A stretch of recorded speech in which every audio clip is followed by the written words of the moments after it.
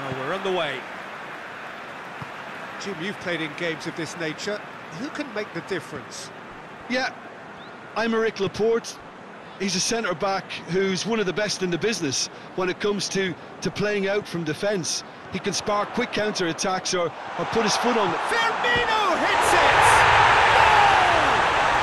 What a start, and what a contribution from the main man. I had a feeling he might do something, given his reputation, but to do it like that, absolutely brilliant. I wasn't expecting that.